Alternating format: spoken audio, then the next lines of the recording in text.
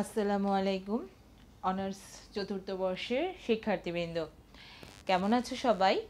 আশা করছি ভালোই আছো। আজকে আমরা wild life protected areas of Bangladesh নিয়ে পড়াশোনা করব। আমি তোমাদের সাথেই আছি। আমি শামসুন নাহার, প্রভাষক হিসেবে আছি ঢাকা কলেজে প্রাণীবিদ্যা বিভাগে। তোমরা নিশ্চয়ই অবগত আছো যে আমরা গত ক্লাসে কি পড়ছিলাম? অর্থাৎ তোমরা গত ক্লাসটি নিশ্চয়ই ফলো করেছ বা দেখেছ বলে আমি মনে করছি। অর্থাৎ গত ক্লাসটি যদি করে থাকো, তার ধারাবাহিকতায়, অর্থাৎ তার পরের যেটা, অর্থাৎ এরপরে আমরা কি পড়ব? যেমন সংরক্ষিত যে রিজার্ভ মানে এলাকাগুলো, সেটা সম্পর্কে কিন্তু আমরা পূর্ণ একটি ধারণা পেয়ে গিয়েছিলাম। আজকে আমরা দেখব এই যে সংরক্ষিত এলাকা, অর্থাৎ প্রোটেক্টেড এরিয়াগুলোর কথা বলছি, এই প্রোটেক্টেড এরিয়াগুলোর কি কি? মানে আমরা কোনগুলোকে, অর্থাৎ শ্রেণি বা ধরনগুলো কি কি? এগুলো কিন্তু অনেকগুলো আছে, যেগুলো তোমরা সবাই কম বেশি জানো। অর্থাৎ কিছু জানো কিছু অজানা, কিছু মনে হচ্ছিল যে ওটা কি প্রোটেক্টেড এরিয়া কি না কনফার্ম না, এই বিষয়গুলো। আসলে আমরা একটু কনফার্ম হয়ে আজকে আমরা দেখব যে আমরা যেগুলো সম্পর্কে জানতাম সেগুলো আসলে কি কি। যেমন সংরক্ষিত এলাকার শ্রেণি বা ধরন যদি বলি, এক নম্বরে কথা যদি আমরা বলি বন্যপ্রাণী অভয়ারণ্য যেটা হ্যাঁ বন্যপ্রাণী অভয়ারণ্য বলতে আমরা কি বুঝি? এক নম্বর দেখো, একটু ক, বন্যপ্রাণী অভয়ারণ্য, খ, জাতীয় উদ্যান গ হচ্ছে গেম রিজার্ভ ঘ সাফারি পার্ক সাফারি পার্ক সবাই কম বেশি জানো। তারপর ইকো পার্ক এটা জানো। বিশ্ব ঐতিহ্য অঞ্চল, বিনোদন পার্ক চিড়িয়াখানা, প্রতিবেশিকভাবে সংকটাপন্ন এলাকা। এই যে বন্যপ্রাণী অভয়ারণ্য যদি বলি, এটি আমাদের দেশে প্রায় একুশটি বন্যপ্রাণী অভয়ারণ্য আছে। তাহলে আমি একটু সংখ্যাগুলো একটু কালেক্ট করে ফেলি। বন্যপ্রাণী অভয়ারণ্য যদি বলি, বন্যপ্রাণী অভয়ারণ্য আছে একুশটি। জাতীয় উদ্যান যদি বলি, অর্থাৎ যেগুলো আমরা জুলজিক্যাল বা ন্যাশনাল পার্ক যেগুলোকে বলে, সেরকম আছে সতেরোটি। তারপরে গেম রিজার্ভ যদি বলা হয় গেম রিজার্ভ আছে হচ্ছে একটি হ্যাঁ একটি সাফারি পার্ক মনে করে দেখো তো সাফারি পার্ক কয়টি সম্পর্কে তোমরা জানো? দুইটি। আচ্ছা তারপরে হচ্ছে ইকো পার্ক ইকো পার্কটা মনে করো যে কয়টি জানো? তেরোটি। হ্যাঁ বিশ্ব ঐতিহ্য অঞ্চল যদি বলি, বা বৈশ্বিক ঐতিহ্য অঞ্চল, সেটি হচ্ছে একটি বিনোদন পার্ক। যেটি বলা হচ্ছে বিনোদন পার্ক, এরকম পার্ক আছে। সেরকম আছে আসলে হচ্ছে দুইটি। এরপরে হচ্ছে চিড়িয়াখানা, যেগুলো যেগুলো চিড়িয়াখানা সেটি যেন প্রতিবেশিকভাবে সংকটাপন্ন এলাকা, এগুলো হচ্ছে মূলত এলাকার শ্রেণি বা ধরন অনুযায়ী ভাগ করে নিলাম। ঠিক আছে? একটু জাস্ট আইডিয়া করে নিলাম, সংখ্যাগুলো মাথায় নিয়ে নিলাম। এরপরে যদি বন্যপ্রাণী অভয়ারণ্যগুলো বলি, অর্থাৎ হচ্ছে বাংলাদেশের বন্যপ্রাণী অধ্যায় সংরক্ষণে যে সংশোধিত উনিশশো চুয়াত্তরের আর্টিকেল দুই অনুচ্ছেদ পি অনুযায়ী হচ্ছে বন্যপ্রাণী অভয়ারণ্য বলতে আমরা বুঝি হচ্ছে একটি বিশেষ এলাকা যেখানে বন্যপ্রাণী শিকার হত্যা বা ভয় দেখানো বা গুলি করা, ধরা এগুলো সম্পূর্ণরূপেই নিষিদ্ধ থাকে। অর্থাৎ একেবারেই অভয়ারণ্য যদি বলা হয়। ঠিক আছে? আচ্ছা এরকম জায়গাগুলোকে বন্যপ্রাণী অভয়ারণ্য, যেমন সুন্দরবনে যেটা সুন্দরবনের অভয়ারণ্যগুলো, অর্থাৎ একটি হচ্ছে সুন্দরবনের পূর্ব দিকে আছে, পশ্চিমে আছে, দক্ষিণে আছে, এরকম করে ভাগ করা আছে। এটা হচ্ছে বন্যপ্রাণী অভয়ারণ্য। আর জাতীয় উদ্যান যদি বলি, যেমন চিত্ত বিনোদন, শিক্ষা সফর, গবেষণার জন্য তুমি এই জায়গাটাকে ব্যবহার করতে পারবে। এটি হলো জাতীয় উদ্যান। এই জাতীয় উদ্যান বা ন্যাশনাল পার্কগুলো সেখানেও কিন্তু বন্যপ্রাণী হত্যা, ধরা এগুলো সম্পূর্ণ নিষিদ্ধ থাকে। বন্যপ্রাণী সংরক্ষণের উদ্দেশ্য সাধন ছাড়াও দেখা যাচ্ছে যে জনসাধারণের মনোরঞ্জন বা শিক্ষা এবং গবেষণার সুযোগও থাকে হচ্ছে এই জাতীয় উদ্যানে। আর গেম রিজার্ভ যদি বলি, জাতীয় উদ্যানের পর আমরা তিন নম্বর দেখব হচ্ছে গেম রিজার্ভ এই গেম রিজার্ভগুলো হচ্ছে একটি সংরক্ষিত এলাকা যেখানে বন্যপ্রাণীর সংখ্যা বৃদ্ধি করা হয় এবং এই যেখানে বন্যপ্রাণীর সংখ্যা বৃদ্ধির জন্য ফিক্সড বা নির্ধারণ করা হয়, এই স্থানগুলোকে বলা হচ্ছে গেম রিজার্ভ। বাংলাদেশ বন্যপ্রাণী সংরক্ষণ সংশোধিত আইন যেটা উনিশশো চুয়াত্তরের, এখানে আর্টিকেল দুইয়ের অনুচ্ছেদ সি অনুযায়ী গেম রিজার্ভ হচ্ছে মানে এই, এখানে গেম রিজার্ভের সংজ্ঞাটা দেওয়া হচ্ছে এরকম যে এখানে এমন একটি এলাকা যেখানে বন্যপ্রাণীর সংখ্যা বৃদ্ধি করা হয় কিন্তু তবুও কোনো ফাঁদ দিয়ে বন্যপ্রাণীর ধরা বা শিকার বা মারা একেবারে নিষিদ্ধ থাকে। অন্যভাবে বলা যাবে যে আসলে এটা একটি ওয়াইল্ড লাইফ এমন একটি গেম রিজার্ভ হচ্ছে সরকার ঘোষিত এমন একটি এলাকার বন্যপ্রাণীর রক্ষা ও গুরুত্বপূর্ণ প্রজাতির বন্যপ্রাণীর সংখ্যা বৃদ্ধি করা হয়, যেখানে বন্যপ্রাণীর ধরা সম্পূর্ণ বেআইনি। এটি হলো মূলত গেম রিজার্ভ আর সাফারি পার্ক যদি বলি সাফারি পার্ক আছে দুইটি। একটি হচ্ছে, জানো যে Cox's Bazar Dulahazara safari park আরেকটি হচ্ছে, যেমন হচ্ছে গাজীপুরে হ্যাঁ গাজীপুরে সাফারি পার্ক দুটি আচ্ছা সাফারি পার্ক এলাকা হচ্ছে যে এটি হচ্ছে, একদম সরকার ঘোষিত। জানো যে সাফারি পার্ক একদম সরকার ঘোষিত একটি এলাকা থাকে যেখানে চারিদিকে দেয়াল বা অন্য কোনো উপাদানের দ্বারা, অর্থাৎ বিশাল বড় বেষ্টনী দেওয়া থাকে। দেশি বিদেশি বন্যপ্রাণী বংশবৃদ্ধি বা অবাধ বিচরণের সুযোগ অর্থাৎ এখানে কিন্তু খোলা স্পেস যেটা ওপেন স্পেস সেই ওপেন স্পেসে ঘুরে বেড়ায় হচ্ছে বন্য প্রাণীরা। অর্থাৎ তুমি যদি যাও, তুমি অবশ্যই যেতে পারবা বা ঘুরতে পারবা বা দেখতে যেতে পারবা। তাহলে তোমাকে যেটা করতে হবে তুমি আটকা অবস্থা হয়ে যাবা। সাফারি পার্ক মানে তুমি বন্ধ থাকবা। আর হচ্ছে যে প্রাণীটা থাকবে, সে কিন্তু খোলা, মুক্ত অবস্থায় থাকবে। এই যে গবেষণার এখানে সুযোগ থাকে চিড়িয়াখানা হতে ভিন্ন ধারণা এখানে প্রতিষ্ঠিত। পর্যটকদের নিরাপদ দূরত্ব রেখে বন্যপ্রাণীদের উন্মুক্ত ও মুক্ত স্থানে আবদ্ধ রাখার ব্যবস্থা করা হয়। এরপর ডুলা হাজরা সাফারি পার্ক বা আমরা যেটা বলছিলাম যে এখানে সাফারি পার্ক বলতে দুইটি, একটি হচ্ছে ডুলা হাজরা সাফারি পার্ক। এটি হচ্ছে উনিশশো আটানব্বই সালে প্রথম, আমাদের দেশের প্রথম হচ্ছে উনিশশো আটানব্বই সালে দেশের প্রথম সাফারি পার্ক প্রতিষ্ঠিত হয় ছয়শো হেক্টর। ওখানে জায়গা, ছয়শো হেক্টর জায়গা নিয়ে প্রথম তৈরি হয়। চকরিয়া উপজেলার সদর হতে হচ্ছে পাঁচ কিলোমিটার দক্ষিণে, অর্থাৎ কক্সবাজার সদর থেকে প্রায় চল্লিশ কিলোমিটার দূরত্বে হচ্ছে গিয়ে এই সাফারি পার্কটি, অর্থাৎ জুলা হাজরা যে সাফারি পার্ক, এটি বঙ্গবন্ধু শেখ মুজিব সাফারি পার্ক নামে পরিচিত। আরেকটি যেটি আছে সেটি তো জানো যে গাজীপুরে এখানে গাজীপুরের যেটি আছে সেটিও তৈরি হয়েছে, এই ধারণার উপর ভিত্তি করে সরকার ঘোষিত স্থান নির্ধারণের মাধ্যমেই তৈরি হয়ে থাকে। এটি হলো গাজীপুর সাফারি পার্ক। এখানেও দেশি বিদেশি বন্যপ্রাণী বংশবৃদ্ধি অথবা অবাধ বিচরণের সুযোগ সম্পন্ন সরকার ঘোষিত দেয়াল ঘেরা এলাকা, যেটা বলা হচ্ছিল দেয়াল ঘেরা অথবা যে কোনো বেষ্টনী দ্বারা থাকে, অর্থাৎ এখানে কিন্তু দেয়াল ঘেরা এলাকা থাকবে। এবং এখানে দেখা যায় যে সাফারি পার্ক হচ্ছে আসলে মূলত একটি জীবন্ত পাঠশালা।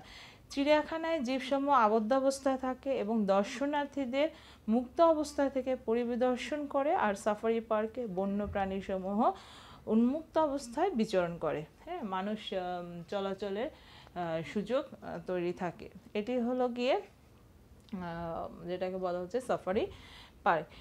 এই যে সাফারি পার্কের পরে আমরা দেখব হচ্ছে ইকো পার্ক অর্থাৎ ইকো পার্ক আমাদের দেশে আছে, তেরোটি আমি আগেই বলে নিয়েছিলাম যে ইকো পার্ক আমাদের দেশে আছে তেরোটি। ইকো পার্ক মানে কি? ইকো পার্ক মানে হচ্ছে ইকোলজিক্যাল পার্ক হ্যাঁ? ইকো পার্ক একটা সংক্ষেপে বলা হয় ইকো পার্ক ইকোলজিক্যাল পার্ক হচ্ছে যেখানে হচ্ছে আসলে ইকোলজিক্যাল বলতে যেটা বুঝে বাস্তুতন্ত্র কথাটা চলে আসে। বাস্তুতন্ত্র অর্থাৎ হচ্ছে প্রাকৃতিক পরিবেশ বা পার্ক উভয় সমন্বয় ঘটানো হয়। অর্থাৎ ইকো পার্ক বলতে একটি সুস্থ প্রাকৃতিক পরিবেশ বিস্তৃত। চিত্ত বিনোদনের পার্ক যেখানে পর্যটকরা জীববৈচিত্র্য নষ্ট করবে না অর্থাৎ বিনষ্ট না করে প্রাকৃতিক সৌন্দর্য সৌন্দর্য দেখা বা প্রাকৃতিক সৌন্দর্য ঘুরে বেড়ানো সমস্ত কিছু করতে পারবে। এই যে জিনিসটা, অর্থাৎ বাস্তুতন্ত্রকে সুন্দর মতো কাজে লাগিয়ে যে পার্কটি গঠিত হয়, সেটিকেই মূলত বলা হয় হচ্ছে ইকো পার্ক বা ইকোলজিক্যাল পার্ক। আমরা সংক্ষেপে বলি ইকো পার্ক। ঠিক আছে? এই ইকো পার্ক তাহলে কোথায় কোথায় আছে? একটি আছে হচ্ছে সীতাকুণ্ডে, অর্থাৎ সীতানিকুণ্ড বোটানিক্যাল গার্ডেন বা ইকো পার্ক।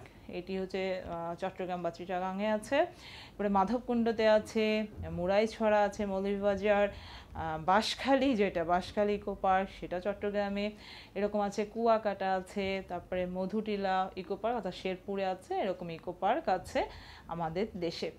এই যে ইকো পার্কের উদ্দেশ্যগুলো কি আসলে ইকো পার্কের উদ্দেশ্যগুলো হচ্ছে জীববৈচিত্র্য সংরক্ষণ করা অথবা প্রকৃতি ও পরিবেশ যেটা, সে পরিবেশের উন্নয়ন সাধন করা, ইকো পার্ক মধ্যস্থ যে কোনো উদ্ভিদ ও প্রাণী সংরক্ষণ করা, প্রাকৃতিক দৃশ্য, প্রভৃতি হচ্ছে সংরক্ষণ করাই মূলত ইকো পার্কের উদ্দেশ্য।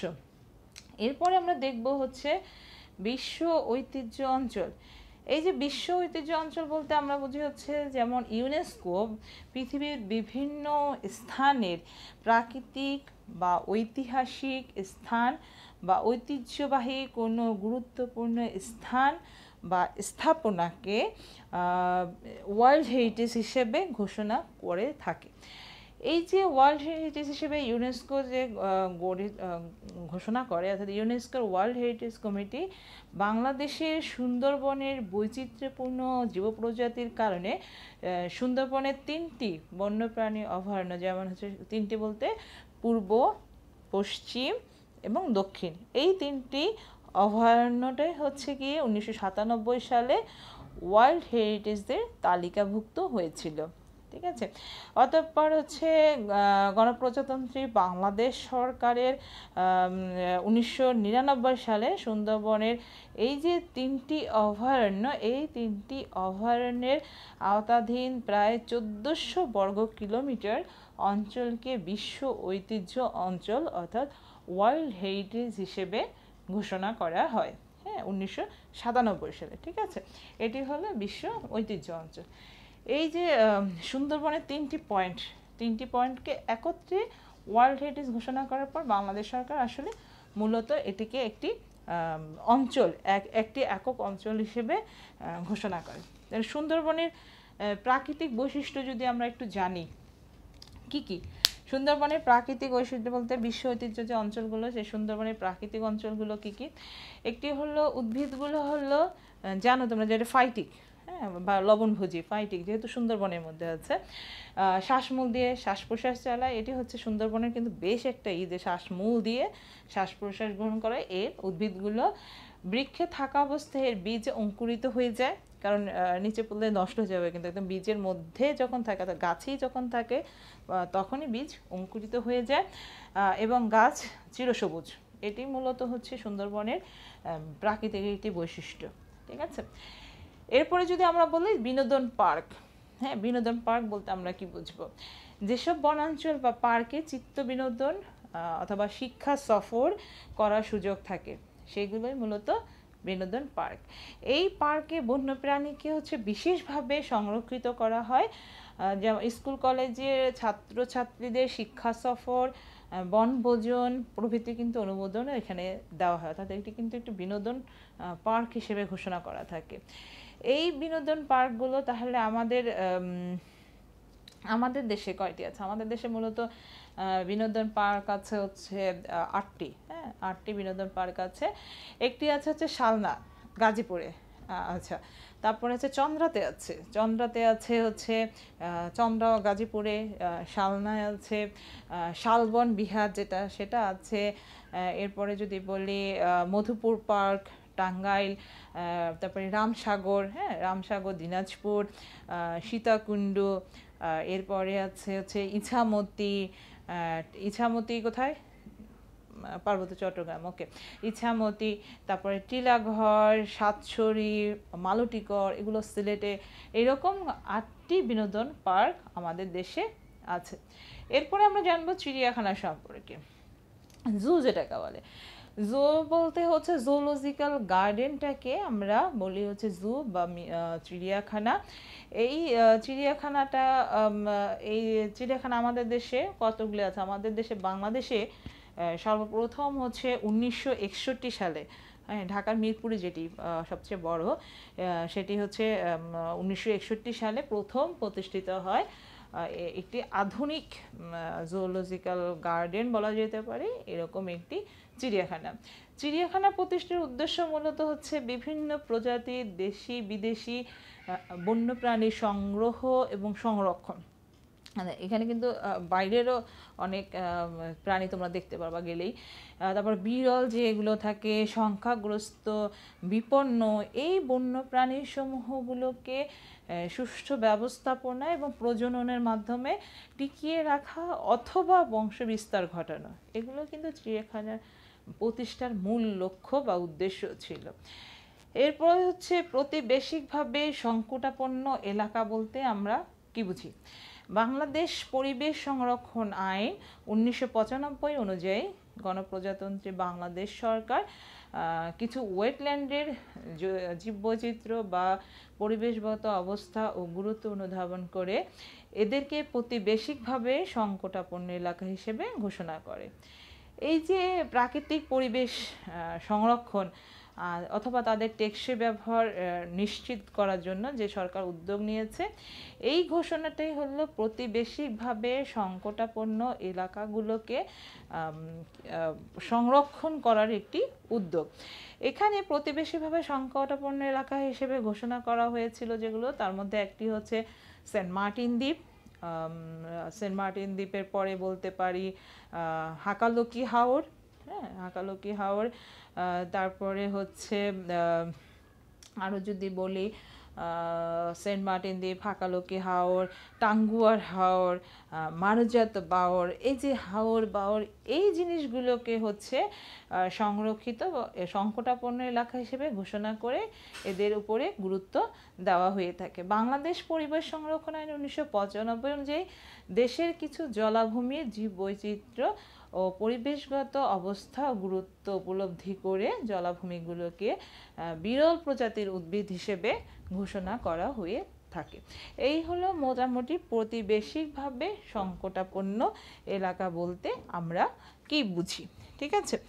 আচ্ছা এই যে বাংলাদেশ বন বিভাগ এই যে আমরা যে এতক্ষণ ধরে বললাম, এটির সূত্র হচ্ছে গিয়ে আসলে জাহাঙ্গীরনগর বিশ্ববিদ্যালয় প্রাণীবিদ্যা বিভাগ এবং বাংলাদেশের বন বিভাগের থেকে তথ্যগুলো নেওয়া। আশা করছি যে তোমাদের আজকে যে অর্থাৎ সংরক্ষিত এলাকার শ্রেণি বা ধরন, এই ধারণাটি সম্পূর্ণ একদম কনসেপ্ট ক্লিয়ার হয়েছে এবং এটির সাথে সাথে তোমরা পড়াশোনা করে ফেলবে, অর্থাৎ বইয়ের সাথে পড়ে ফেলবে। আগামী ক্লাসে ইনশাল্লাহ আবারও দেখা হবে। সেই পর্যন্ত সবাই ভালো থাকবে, নিরাপদে থাকবে। যেহেতু একটি করোনাকালীন খুব দুর্যোগ একটি সময় যাচ্ছে, সুতরাং নিজেকে নিরাপদ রাখার জন্য হলেও বাড়িতে থাকবে, স্বাস্থ্যবিধি মেনে চলবে। তোমরা সবাই সুস্থ থাকো, সবাই সবার জন্য দোয়া করব। ইনশাল্লাহ ভালো থাকব। আগামী ক্লাসে আবারও দেখা হবে। আল্লাহ হাফেজ।